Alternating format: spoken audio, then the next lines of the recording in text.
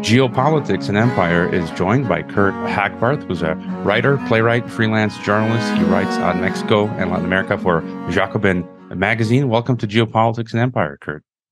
Thanks for having me. Pleasure to be here. I've been enjoying your your work uh, for quite a while, and find uh, most of the time I'm agreeing with your uh, analysis. And you know, listeners have been asking sort of to get a you know big picture take on Mexico. A number of listeners, you know, have come down to live uh, to uh, uh, Im- have immigrated, like myself, to mm-hmm. Mexico, and maybe to start to get your sort of broad lay of the land on Mexico, the political parties. You know, we don't have to go into too much de- detail, but my view has been that for the longest time, the American empire and transnational corporate interests have sort of managed Mexico to an extent from behind the scenes. Uh, yeah, I did the interview a couple years back with Jefferson Morley, who declassified mm-hmm. the, the, documents on how uh, now it's four Mexican presidents. Four. Uh, yeah, have literally been CIA agents, probably more. Uh, and often when Mexican presidents finish their term, they go off to teach at the Ivy League, like Calderon, which again tells you they're agents of empire. And, uh, you know, as a conservative, I recognize that a lot of the conservative Mexican parties basically sell out their country to the highest foreign bidder and work hand in hand with U.S. interests. But you know, Mon- AMLO, um, you know, from the people that I've talked to here in Mexico, from across the political spectrum, uh, the the answer that I get is that many feel that AMLO has been the least worst president in the longest time. And I do see in his rhetoric and actions, he has been attempting to protect Mexican sovereignty and call out American empire. So maybe if you could give us sort of your overview of how you see uh, you know, Morena, PAN, PRI, uh, and and the you know the the overt and covert Mexican political uh, structure. Okay, well that's that's a big uh, a big question to start. So let's just get right into it. Um, I think you're absolutely right that the United States has you know treated Mexico very much as its as its backyard, uh, and this of course goes back to the Monroe Doctrine and this idea that all of the Americas um, is a possession of the United States. This is something that you know indirectly. And this is something that AMLO has spoken, uh, Andres Manuel Lopez Obrador has spoken very clearly about uh, in his morning press conferences. He has a daily press conference for two, sometimes upwards of three hours a day, where he takes all kinds of questions from all corners. So some really interesting stuff comes out uh, at times. um, at the moment, um, the governing party in Mexico is known as uh, Morena. Morena stands for Movimiento de Regeneración Nacional, or the National uh, Regeneration Movement. And it's also an acronym for a dark skinned woman, um, una morena. so it's actually a very clever um, acronym from a political standpoint. In a country that's 80% mestizo and indigenous. you know, that's very important uh, to remember. Mm-hmm. Um, Morena was born as a political party in 2014, so it's had a very um, vertiginous rise as a political party. Four years after its founding, it won the presidency and both houses of Congress, and then um, in the midterm elections of 2021, held both houses of Congress. And if the polls uh, are correct, is uh, the very clear frontrunner for the presidential election in 2024. And this, you know, in a context of pandemic, in a context of international global shocks, um, you know, supply chain, all, you know, um, all of the stuff we've seen over the last two years that has uh, knocked a lot of world leaders around. And you have Lopez Obrador, who, according to most polls, is um, the second most popular leader in the world. And so um, that, in and of itself, is a very interesting phenomenon that I think hasn't been looked at enough. You know, how a party in four years can take power and hold power in the face of a lot of a lot of pressure from national and international media, which have been bludgeoning uh, AMLO constantly. So I think that's one that's one thing. Um, the opposition parties are the two main opposition parties in Mexico. One of them is the PRI, the Institutional Revolutionary Party. This was basically the hegemonic party of state that ran Mexico for over 70 years in the 20th century. Uh, from the late 1920s had a different name, but it was the same same beast um, through to the election of uh, of 2000. So the PRI was it in Mexican politics um, in the 20th century. And um, the other opposition party is the National Action Party, which is um, you know the classic uh, conservative Catholic aligned party. But both parties now are are polling really poorly uh, due to decades of scandals uh, and corruption um, and mismanagement when they were in when they were in power. And the weakness of those parties has also helped, you know, AMLO and Morena uh, significantly. So that's kind of the general panorama of uh, of the parties. Um, presidents can uh, only serve one six-year term in Mexico, and that is something that goes back to the revolution. The idea of no reelection was a big rallying cry in Mexican politics. So that's kind of a long-standing tradition here. There's now reelection for local offices and even for Congress people, but not for presidents. So AMLO can't run again. So the big question is who is the Morena candidate going to be? Because very likely whoever that candidate is going to be is going to be the next president of Mexico. And yeah, and, and maybe to get a little more into AMLO, you've uh, got a lot of great articles uh, on Jacobin. And again, I, have I've talked to uh, people here in uh, Mexico from both sides.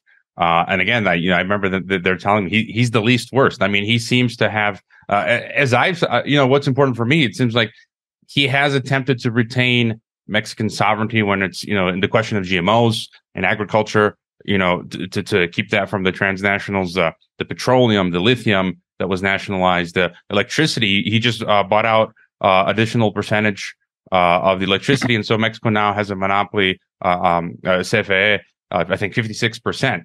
Uh, so th- that keeps right. price, prices for us low, uh, keeping SIAPA, you know, the water uh, service, the public u- utility, and keeping the prices low.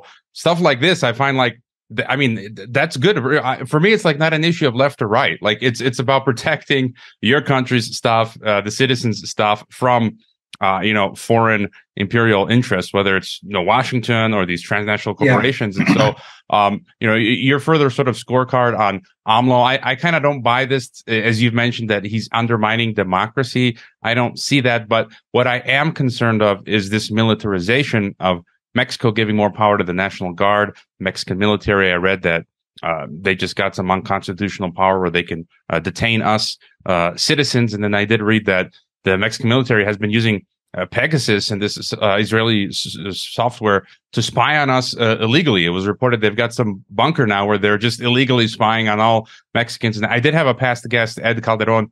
Uh, no, is it uh, was Ed, Ed Calderon, the guy who was on Joe Rogan, who said that you know this is maybe the Mexican deep state, you know, which is centered around the military, which you know maybe AMLO is has to butt heads with them sometimes. But you know, your your further thoughts on yeah. this and, and AMLO. Well, I think it's interesting um, um, that you know you come from a, a, more conservative point of view because it's interesting that AMLO. There was a poll that just came out the other day.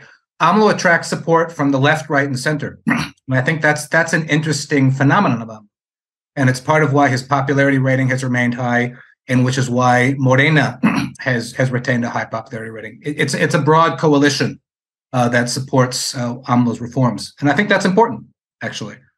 Um, I think you're right to mention the word sovereignty when it comes to AMLO. Um, AMLO is very clear that um, you can't have an independent country if you're dependent on you know another country energetically and for foodstuffs and you know for these vital um, parts of the economy. And for the last 30 years in Mexico, um, a series of presidents have um, gave, given the United States even more control over Mexico than they had original than they had you know before. Right? So AMLO's big rallying cry is sovereignty, and how has he gone about that? The first one is energy, which you've pointed out. Um, when AMLO came into office, there was a situation where foreign multinationals uh, had their tentacles all over the national grid, right?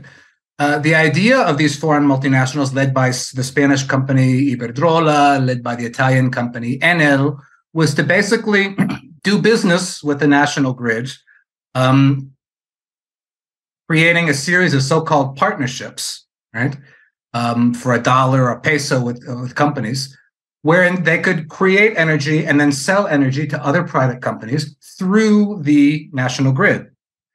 The idea was eventually to run the Federal Electricity Commission out of business and set up a situation that exists now in Spain, where Iberdrola runs the show, or in Great Britain, where people are, you know, paying uh, you know, well over a thousand pounds a year in energy bills. the problem that exists in some U.S. states, Texas, um, and others, right? So AMLO said, look, what we're going to do is prioritize um, public sources of energy first, and then if we need more, yeah, we'll buy from private companies. We've got no problem with that.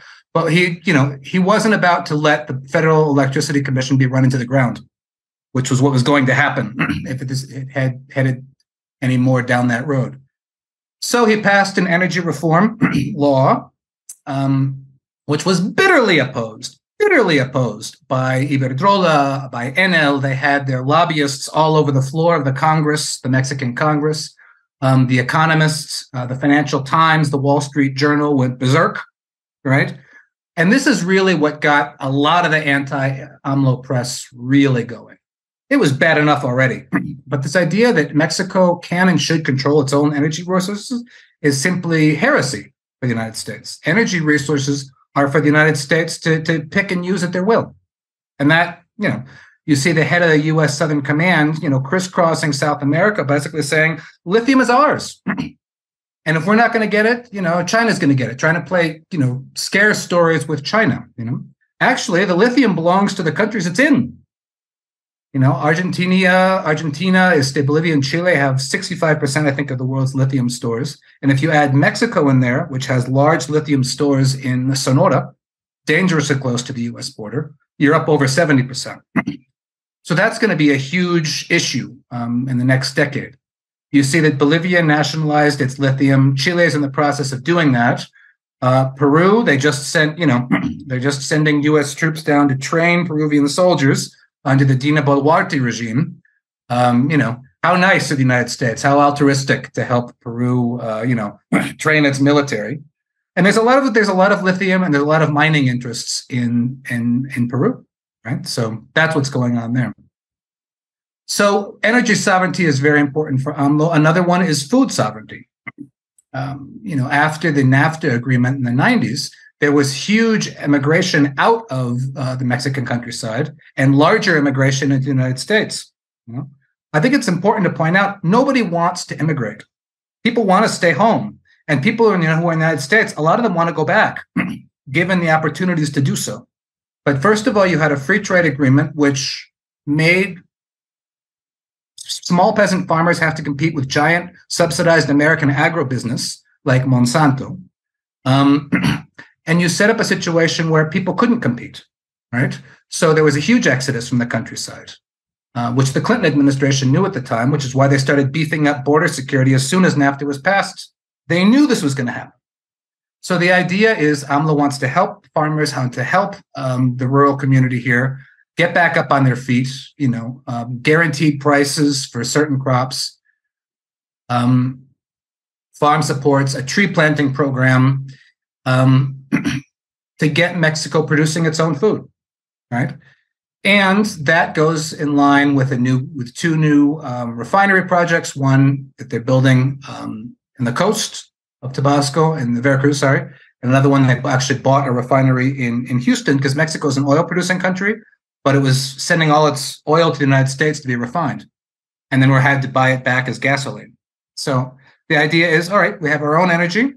And as we make an energy transition, well, we're going to refine our own, uh, we're going to find our energy, we're going to produce our own food.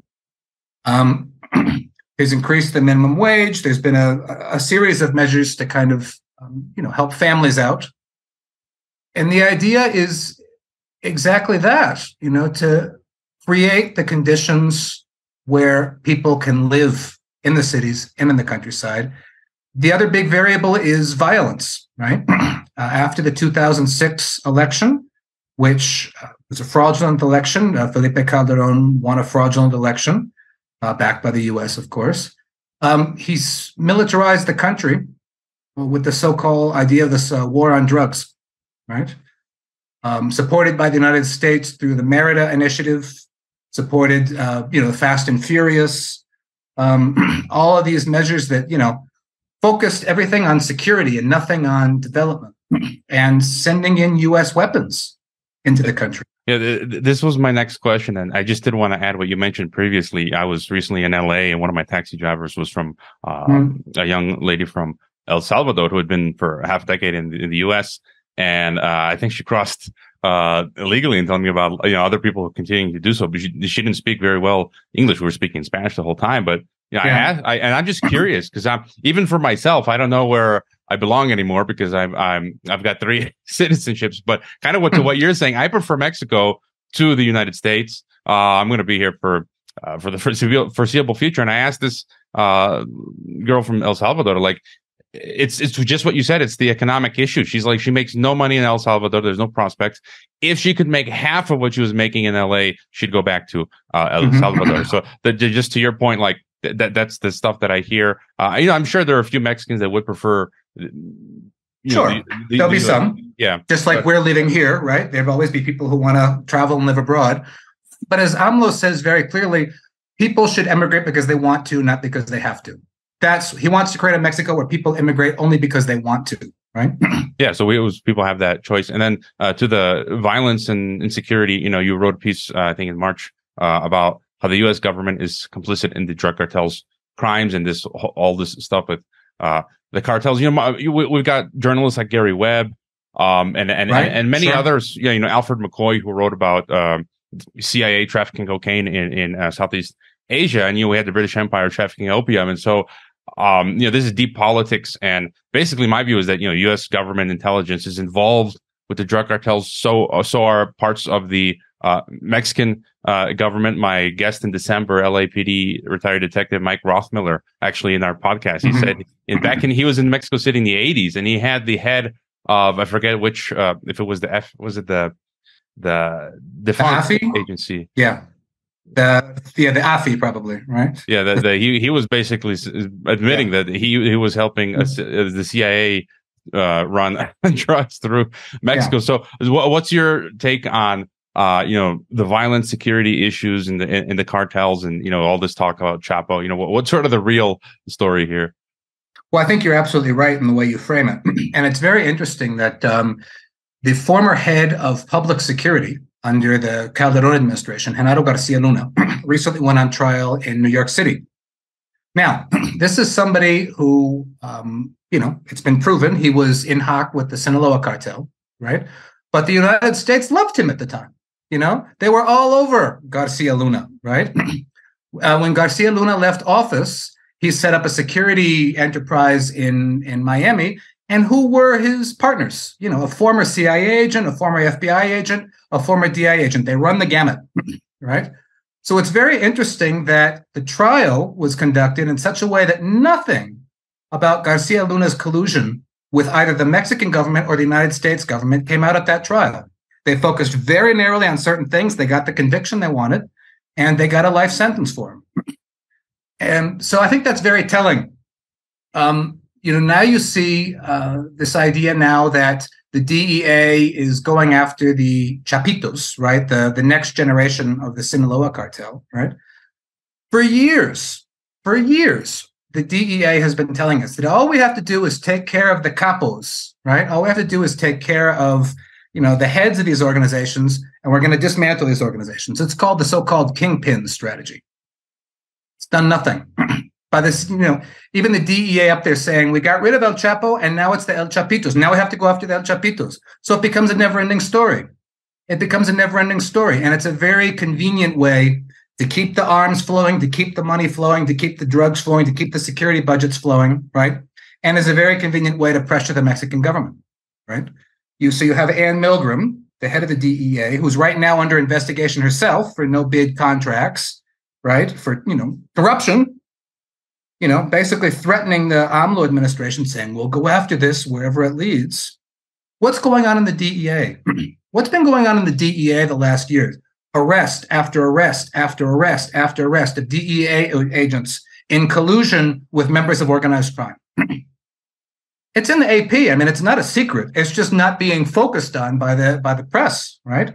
The former head of the DEA in United in Mexico, Nicholas Palmieri, was run out of the DEA very quietly, though, because he was hanging out with defense lawyers in Miami who were representing criminals. They're representing, you know, criminals for organized crime. Palmieri is over there hanging out with them, bringing bottles of wine, right? Uh, two other DEA agents were arrested in uh, for also, you know, handing over information to Miami defense lawyers. The Palmieri affair was hardly mentioned. Hardly mentioned. He was whisked out of Mexico um, and then allowed to resign the DEA a year later. Not be fired. He was allowed to resign and then just quickly slip into anonymity.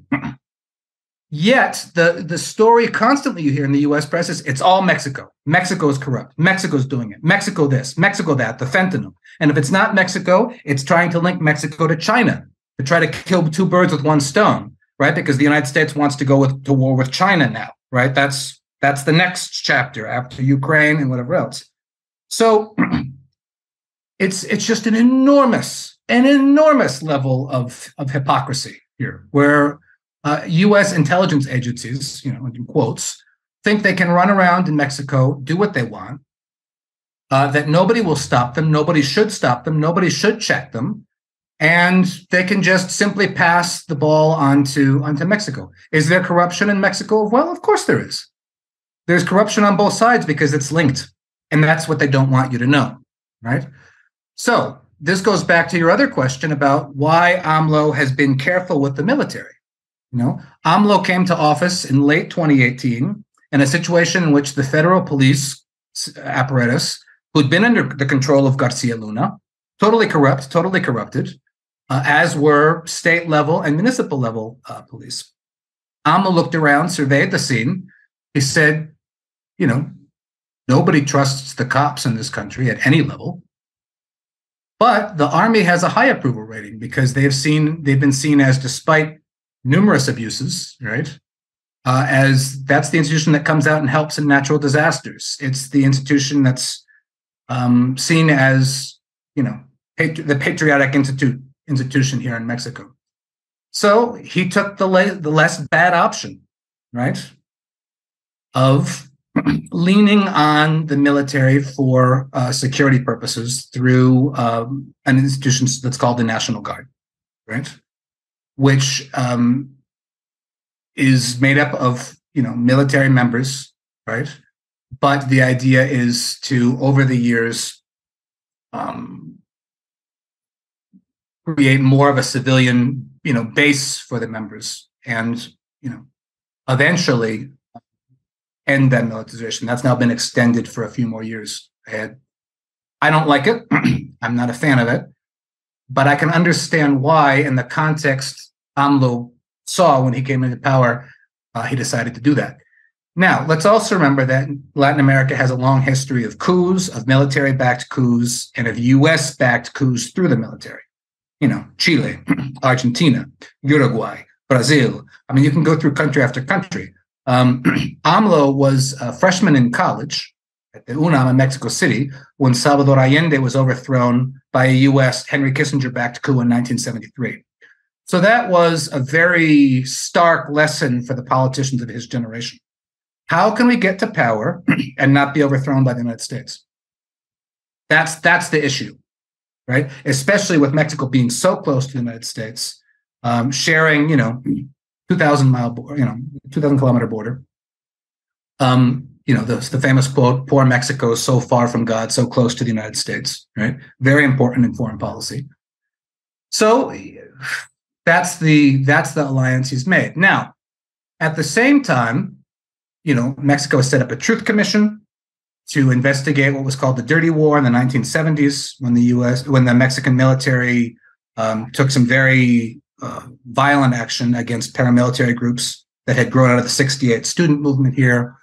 Um, there's also a commission set up to explore the Ayotzinapa um, uh, killings of uh, normal school students back in 2015. So it's not like he's, you know, uh, letting giving the military a free pass. They're investigating the military to an extent that's never happened before.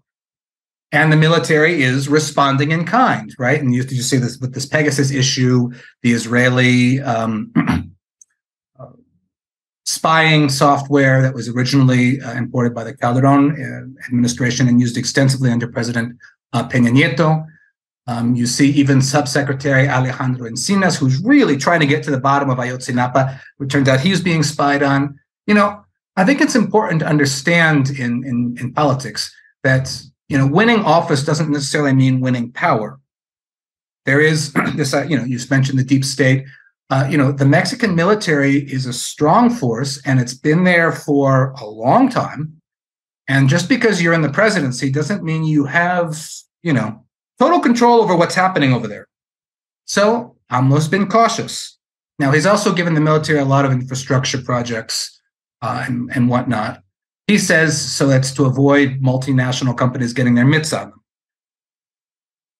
You know, there's an argument to be made there. Um, throughout the 80s and 90s, all of Mexican, you know, everything was privatized in Mexico. Everything, everything, everything, from the banks to the airlines to the railways to you know uh, the mines to the health service.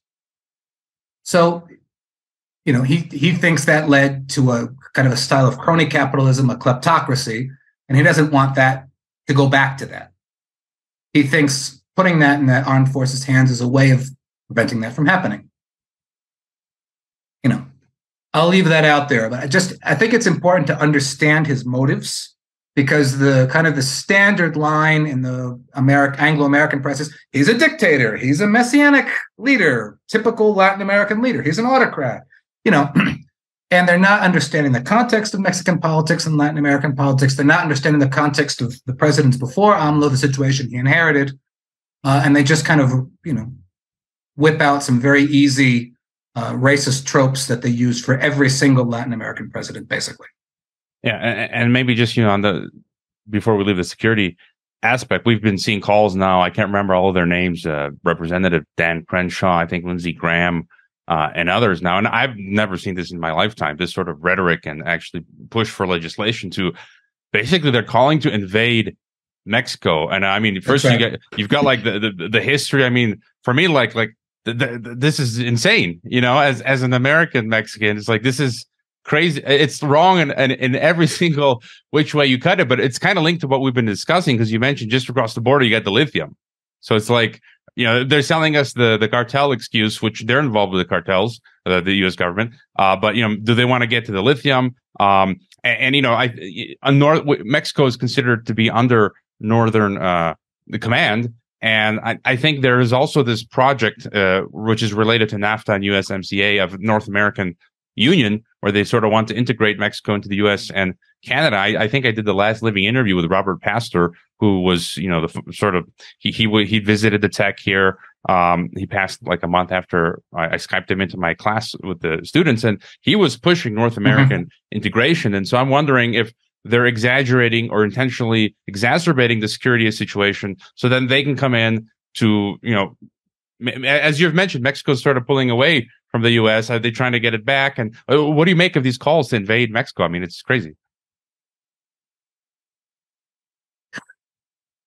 Yeah, I think you're right. Um, you've seen the AMLO administration uh, push for greater regional Latin American integration, right? They've been very critical of the Organization of American States, the OAS, which they see as a U.S. tool in Latin America. The OAS was basically an institution that provoked um, the coup in, in, Bolivia in 2019, right?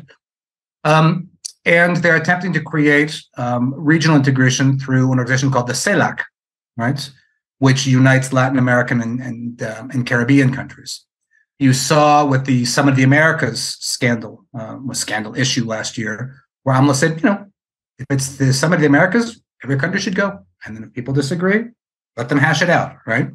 United States couldn't have it. they had to decide who who goes and and who doesn't. Right. So I think you see that that push for greater Latin American uh, integration, and it's also interesting that Mexico is trying to set up now um, an integration with lithium producing countries, Argentina, Bolivia, Chile, to do uh, some form of um, a regional integration around lithium, not only to lithium as a as a raw material, but you know finished products regarded, you know, batteries and such.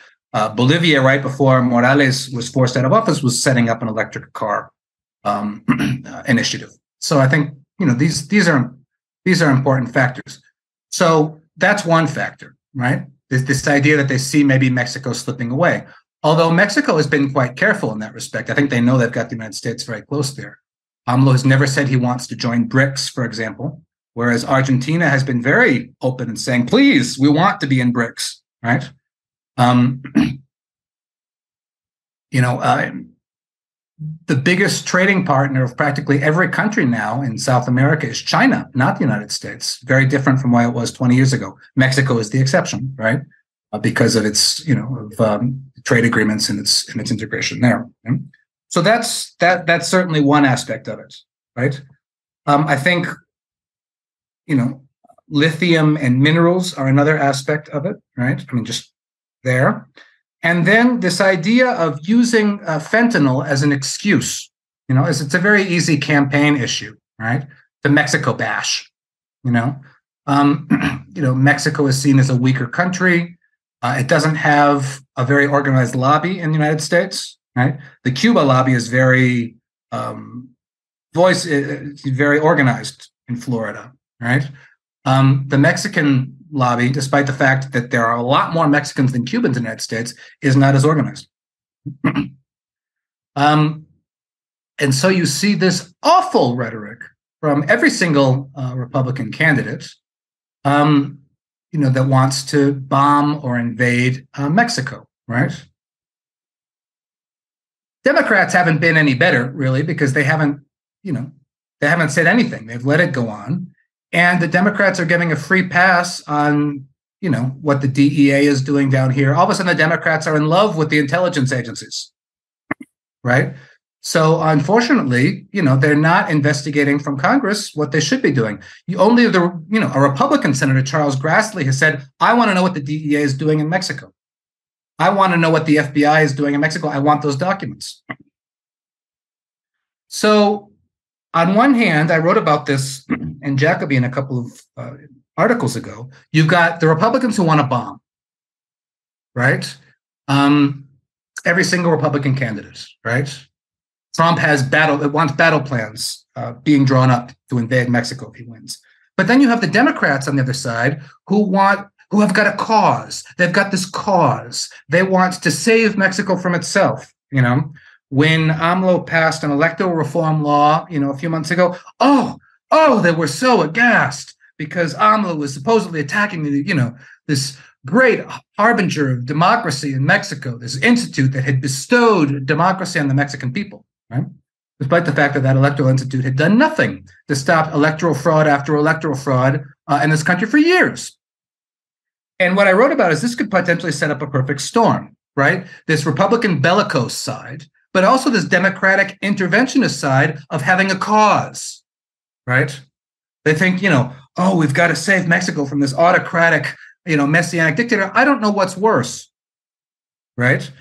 Um, I don't know what's worse. I don't know if it's, you know, um, you know, Fox or, you know, uh, those kinds of media banging the drumbeat on Mexico. You know, Senator John Kennedy came out and said, you know, if it it wasn't for us, Mexico would be eating out of a can of cat food and uh, you know sleeping out behind the outback. I don't even know what he meant by that. I mean, I, what does I, he mean? I, I was taken aback. What are they talking about? As an American Mexican, yeah. like that what is that supposed to mean? Yeah, that's that's it's insulting, really. So I don't know what's worse, that or these kind of um, progressive media outlets like the Atlantic, you know, which now have David Frum there and Anne Applebaum and they come down here and they hang out with rich people and they hang out at rich hotels and they go to op- one opposition rally and now they're automatically um, experts on Mexico. And they go back and they warn their readers about the dangers of democracy being under attack in Mexico by by what? By a democratically elected leader passing democratic laws with a democratic majority in a democratic Congress right? And this is where I see the United States again and again in Latin America and the world creating the conditions, the very conditions that they then decry. Right? Mexico is trying to reform its country so that people can stay in Mexico and create a prosperous Mexico. And the United States is doing everything possible to undercut that. So the United States, again, is creating the very immigration problem that they then are all up in arms about. You would think that they would support someone who's trying to reform the country. You know, the Mexican economy is growing. They're setting up, you know, um, Foreign investment is growing in Mexico. There's now support for students to stay in school. If you stay in school and get good grades, you get a scholarship, right? There's a pension for older people that people never had before. A lot of times before people had to immigrate just to send money back to take care of their elderly relatives. So now there's a pension for the for those people, a universal pension, right? There's support for farmers. It's to see um, the minimum wage has risen. There's there's been housing and pension reform, basic stuff, you know, basic stuff, right? To create the conditions where people can prosper at home. You think the United States would want that? But they don't want that because it's all just a big lie. They're just hypocrites. What they want is to have multinational companies controlling Mexican resources. And the whole all the rhetoric about, you know, immigration is just all totally hypocritical, right? So when, you know, the energy reform law was passed, you had the American ambassador Ken Salazar, who was a fossil fuel lobbyist for years in the US, right? As Secretary of the Interior under Obama, did very little, you know, uh, if the Keystone disaster in the Gulf of Mexico, right? Um, coming down here and saying, we're very concerned. We're very concerned about the Mexican energy reform. Mexico is just trying to do what any country in the world would want to do is just control its own resources for its own population. That's what it wants to do, right? But instead, you have this hysterical rhetoric, hysterical rhetoric of autocrat, of dictator, of messianic leader, right? And of a credulous Mexican public who follows this, you know, this messianic leader because they have no agency of their own, right? Because that's the way Latin Americans are to people in the United States, right? They're religious, they're superstitious, they follow charismatic leaders, they have no decision making power of their own. Why is AMLO still popular five years later? Because I think people see that he's doing his best to make important changes here. You know, I think it's a very rational decision. But the American press never attributes rational decision making powers to people in Latin America, ever. if you look at the history of press against AMLO over the last few years, the idea is to make him look to, out to be a superstitious, uh, you know, um, messianic person who, um, you know, during the pandemic, he made a little, you know, little comment that he had a little amulet that you know protected him. It was just a line. It was just a line in the press conference. It was just a thing you say, kind of a thing, because somebody had given it to him on one of his tours. People were like, oh, look, AMLO believes in amulets. AMLO believes that you can uh, stop COVID with amulets, right? Or recently, he just published a little photo because he's very good with social media. AMLO is excellent on social media. Um, you know, much better than a lot of other world leaders. And he was doing a tour through the Yucatan Peninsula, and he said, "Look, this is like what's called an aluxe, which is kind of a mythical Maya being. Looks like what you know, one of those." So all of a sudden, you know, the U.S. press is like, "Does AMLO believe in mythical beings?"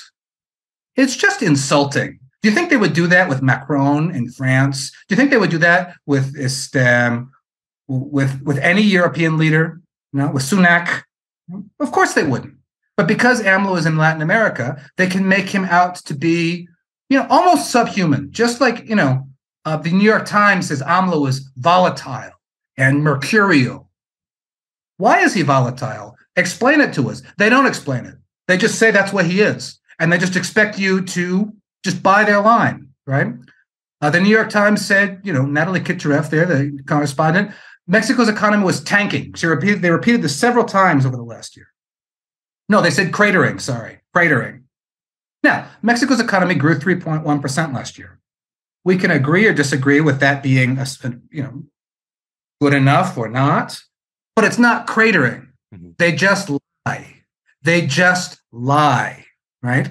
And this is the most maddening thing about, um, you know, tracking U.S. press on Mexico, which is unfortunately part of my job. You just got to weed through this stuff from the New York Times, from the Washington Post, you know, from the LA Times, uh, from the Atlantic Monthly, uh, through to the Economist and the Financial Times. And it's just, you know, if you don't even try to report objectively on Mexico, you're never going to get your policy right because you're just, people don't even know what's happening.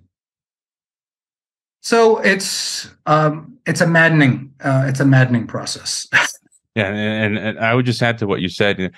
I mean, per- personally, I'm not a believer in this, you know, systemic racism thing. I mean, I don't even think about right race. My wife's uh, Mexican. I became a Mexican. You know, whatever. I don't think in those terms. I think a lot of the stuff in the U.S. is just all this hyped up sort of woke stuff. But I can tell you, uh, you know, there's American exceptionalism, which is uh, apparent in not you know in the whole in the government, but in, in uh, not all Americans. But every time I go back uh, to the U.S., I will come across upper class Americans who literally, you know, say stuff like "dirty Mexicans," kind, kind of what you're alluding to, and it's for me, it's repulsive. It's it's it's disgusting. Uh, and, and, you know, the, any other, you know, I used to live in Mongolia. I'd have the same reaction from you know some people that I knew, Europeans and Americans would say, "Ah, Mongolia, third world, you know, garbage, Mexico," and I, I, that's that's for me, that's very very wrong, immoral, uh, uh, unethical. And uh, I would just also mention what what you're talking about the security issue. It's almost basically a bipartisan thing. I had a great interview. Yeah couple couple years ago with Todd Miller, uh, who for me did groundbreaking research in his book where he talks about the border security complex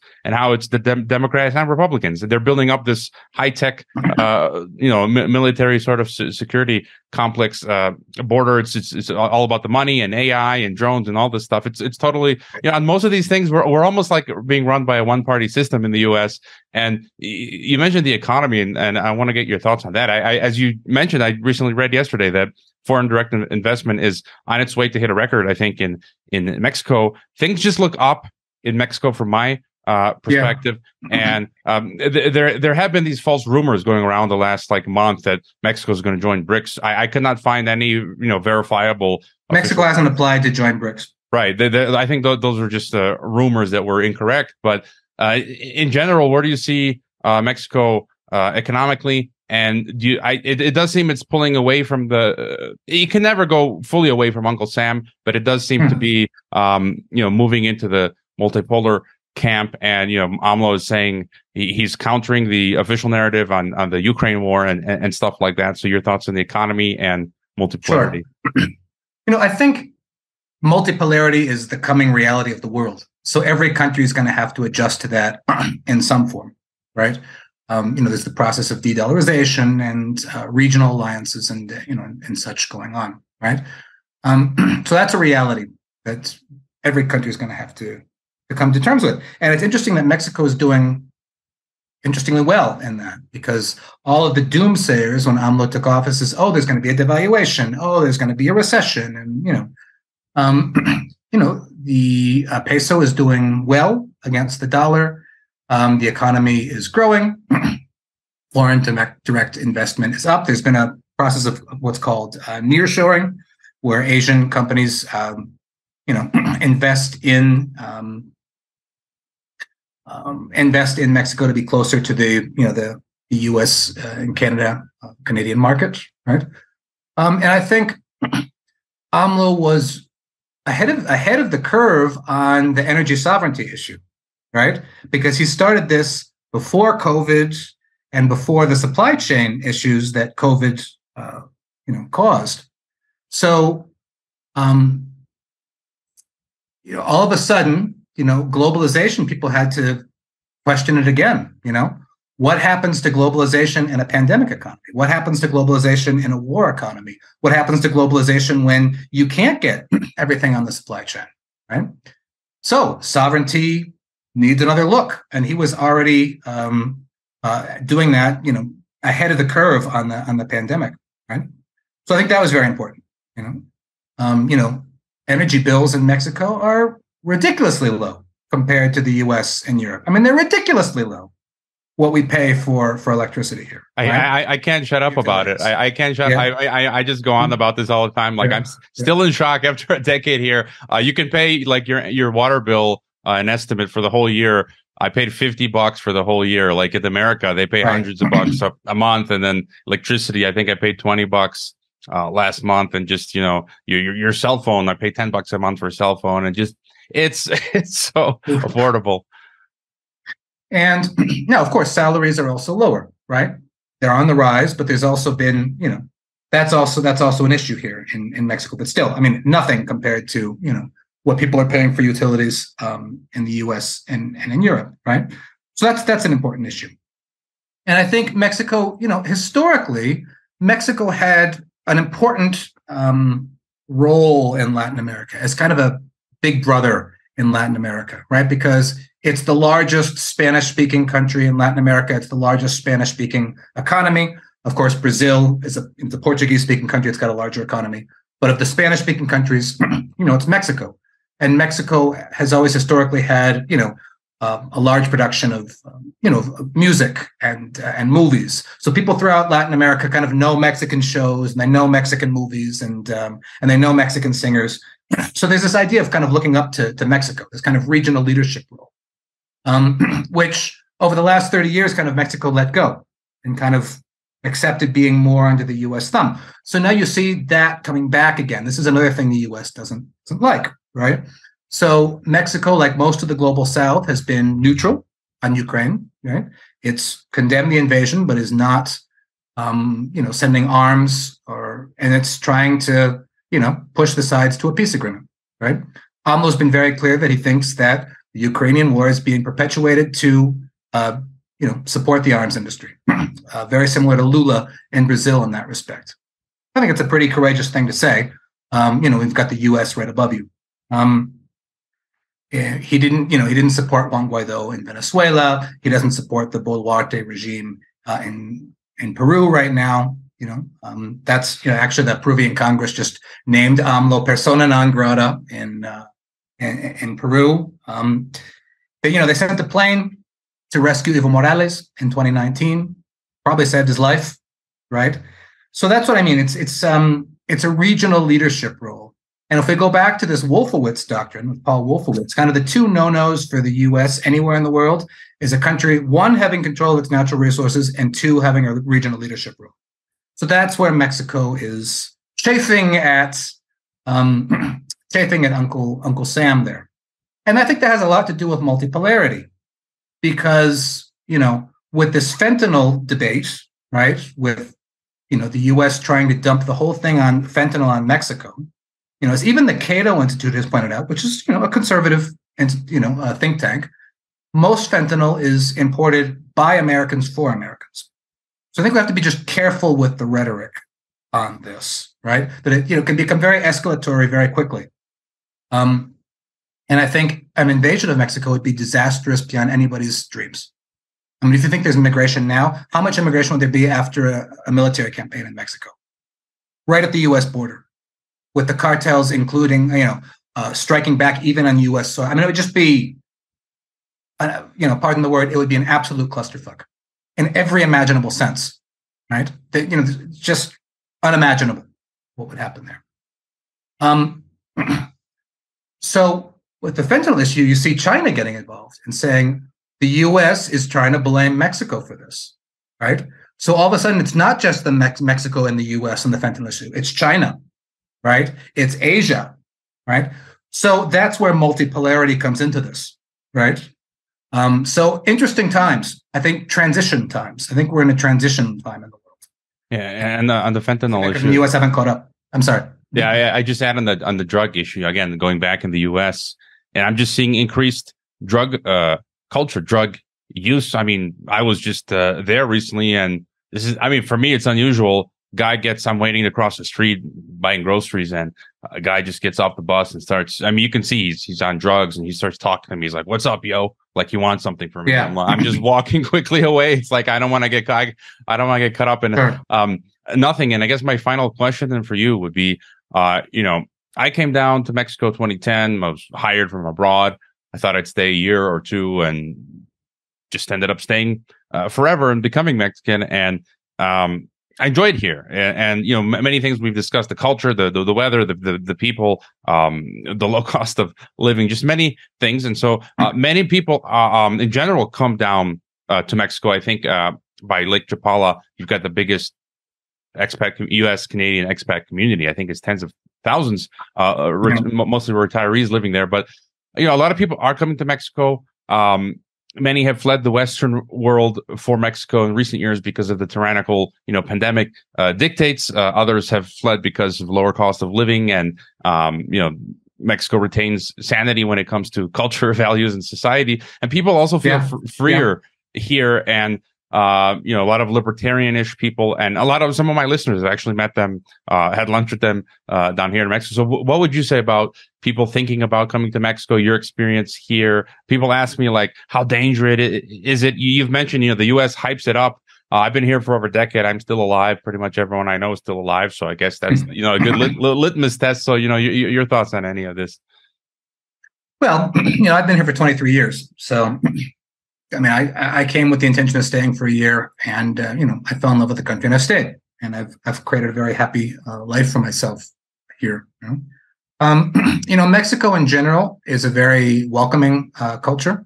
It's very open to to foreigners and to immigration uh, in general, uh, which I think is a wonderful virtue because you know Americans are not always that way with foreigners there. I think the openness of Mexicans is something we can learn from. um, you know, it's got millennial, millennial traditions, you know, thousands of years traditions. What I mean, um, a profound uh, culture which expresses itself in cuisine, literature, arts. Um, there is so much more to Mexico than this um, caricaturized version you get in the U.S. Uh, and the U.S. press. And you know, I would encourage people to find out more about Mexico. I think more the more people understand about Mexico, the less likely the kind of rhetoric you see from the U.S. press and politicians will stick in the U.S. If more people know Mexico, know its people, uh, they'd be less likely to be taken in by this idea of let's bomb them or you know they're this messianic leader and all this stuff. You know, they won't be as easily taken in. Um, I think it's just a question of, like in any country, uh, being sensitive to you know local culture not being the quote unquote ugly american you know the spring breaker right? Or the kind of the digital nomad that's only only on your laptop and only hanging out and speaking english with other people and not getting involved with people or getting involved in your community you know? Um, people who come here and make money in dollars are making more money than people who make money in pesos. That's just a fact. So i think the question is always to think about if you're going to come down here great but what can you give back? You know, like anywhere, what can you what can you give back, right? Without you know having a savior complex or trying to think yourself superior. But like in any community you live in anywhere, in your own community at home, how can you give back? You know, that's what I try to think about. You know, how can you how can you give back here? And I think that then you can create a very stable relationship with people. Uh, you know, uh, something that happened, I guess, not too long ago that kind of reminded me of what you just mentioned. Uh, you know, oftentimes you have to wait uh, at, at, a shop, or you know, sometimes it can be a while for whatever service or thing you got to do. And on some occasion, I had to wait a while. Uh, and I got used to this. You know, the first time I left the U.S. when I was living in Mongolia and then mm-hmm. uh, elsewhere, you just get used to because in America, it's like you want everyone wants it now. They don't have patience. But in you yeah. know many third world countries, you just have to wait a long time for stuff, and you get used to it. It's normal. You don't complain. And someone told me like, I can't believe like you have all this patience. You're like you're not saying anything. You're waiting for like I don't know how was it hours or something for whatever. And I think it's to, just uh, what you what you mentioned. Other foreigners probably freak out and make a you know uh, a scandal, and they're used to that, which is annoying. And so uh, yeah, as as you said, you know, just come here, live like uh, the people, and um, if if some of these exceptionalists can just get past that sort of um, uh, you know, whatever it is that they have, this this this like disdain for Mexico, and as you say, hang out with the people here. Um, the, it's a whole new uh, world. And then, if you've got any final thought for us, and if not, um, let us know where are the best places we can uh, find you online, uh, read your writings or projects that you have, and so forth. Well, no, um, just to, yeah, I think this is a great, this is a great dialogue. I think it's it's great that we're always, you know, um, finding uh, different ways to, to, to dialogue and talk about this thing. So I appreciate it. Uh, I'm on Twitter, uh, Kurt Hackbarth on Twitter. Um, I'm on Jacobin. I do a monthly uh, piece on on Mexico, and I think that you know um, my stuff. That's all just you know do Kurt Hackbarth Jacobin and Google, and all the articles are there. All right.